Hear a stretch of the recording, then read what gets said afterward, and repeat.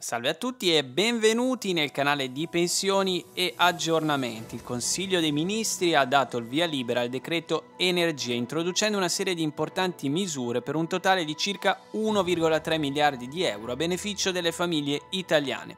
Vediamo insieme i dettagli nel video che segue. Prima di visionare il video, come sempre, vi invito ad iscrivervi al canale e a schiacciare sulla campanella per rimanere sempre aggiornati ogni volta che sarà caricato un nuovo video sul canale. Vi invito inoltre a lasciare un mi piace in questo video per supportare il canale.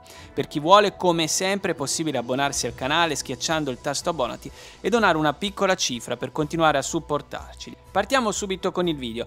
Il Consiglio dei Ministri ha recentemente dato il via libera al decreto energia introducendo una serie di importanti misure per un totale di circa 1,3 miliardi di euro a beneficio delle famiglie italiane. Queste misure mirano principalmente a contrastare l'aumento delle bollette energetiche e a fornire supporto ai trasporti.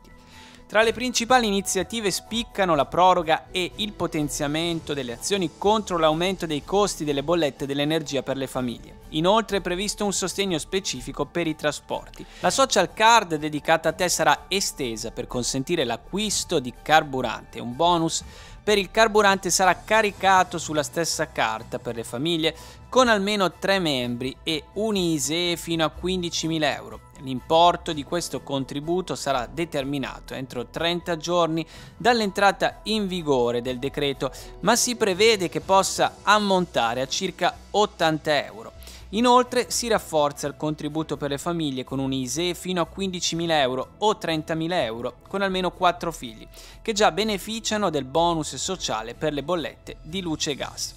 Questa misura verrà ulteriormente potenziata nel corso dell'ultimo trimestre dell'anno con un budget di circa 300 milioni di euro in base al numero dei componenti del nucleo familiare.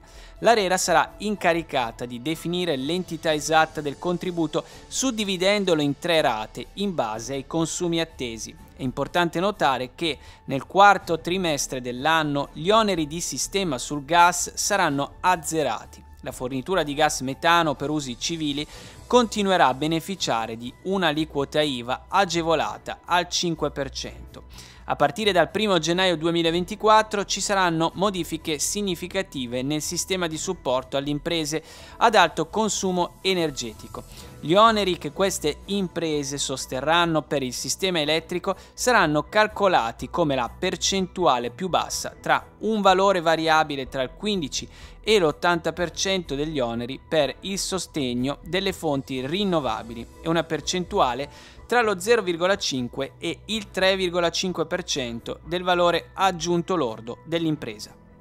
Gli oneri diminuiranno se l'impresa coprirà almeno il 50% del proprio consumo di energia elettrica da fonti a zero emissioni. Infine, per il 2023 il fondo per il bonus trasporti sarà incrementato di 12 milioni di euro, contribuendo così a sostenere ulteriormente le necessità legate ai trasporti nel paese. Queste dunque le novità approvate. Fateci sapere come sempre cosa ne pensate qui sotto nei commenti del video. Bene, e anche per oggi è tutto. Se non l'avete già fatto vi invito nuovamente ad iscrivervi al canale e a schiacciare sulla campanella per rimanere sempre aggiornati ogni volta che sarà caricato un nuovo video sul canale. Grazie per l'attenzione, al prossimo video e un saluto a tutti.